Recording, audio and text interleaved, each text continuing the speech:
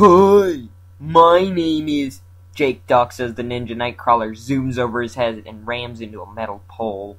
Whoa, nice move, but um, I'd really prefer if you did it in another direction. Then Jake walks away saying, Nice to meet you. Maybe we could work together on some of those moves together next time. He continued walking until he reaches a giant black bug-shaped building. To be continued. Did Jake make the right decision walking towards the giant black bug-shaped building? Probably not, but we can always hope.